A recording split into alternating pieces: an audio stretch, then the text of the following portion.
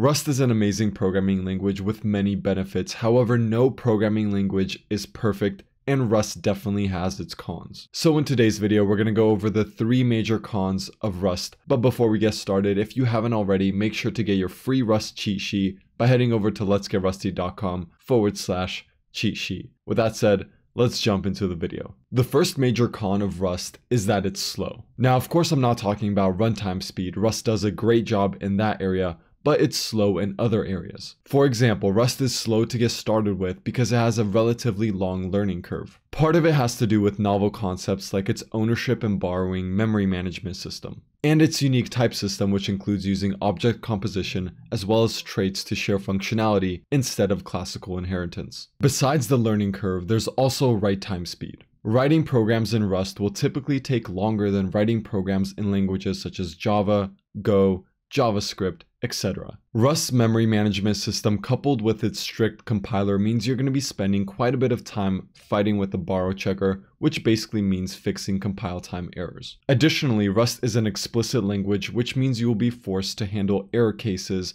and optional values in your code explicitly. This also means that Rust code can be pretty verbose, which leads into read time speed. Because Rust code is verbose, it could be hard to read, especially when you start introducing things like lifetimes. And lastly, as you probably know, Rust has relatively slow compile time speeds. This not only affects how long it takes to build your program, but also affects things like integrated development environments like Rust Analyzer, which could lead to slow semantic analysis and code completion. The second major con of Rust is that it's complex. This should be no surprise given that Rust is a systems programming language, however it could be a burden because you have to keep a lot of things in your head besides the domain specific logic you're trying to implement. For example, when programming in Rust, you constantly have to think about how things are laid out in memory and the lifetime of references. Also, as you start using the more advanced features of the language, things could get complicated pretty fast. One example of this is the macro system in Rust, which is very powerful but also very complex. And the other example is the async model, which exposes you to low level details. Not to mention that the Rust standard library does not come with an async runtime, so you have to research third party libraries and find the right one for your project. Some seemingly not so advanced aspects of the language could also be complicated.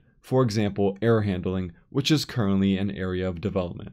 The third major con of Rust is that it's immature. The first stable release came out in 2014 and the language is still constantly evolving. The ecosystem of third-party libraries is also young. For example, in the server space, Rust does not have a dominant framework similar to Laravel or Ruby on Rails. Lastly, the job market for Rust jobs is still fairly young despite rapidly growing in the last couple of years. Rust is an amazing language, but no language is perfect and these are some of the general overarching cons I could think of. Let me know in the comments section if you agree, disagree, or have some of your own cons you want to share. Lastly, before you go, make sure to get your free Rust cheat sheet by heading over to letsgetrusty.com forward slash cheat sheet.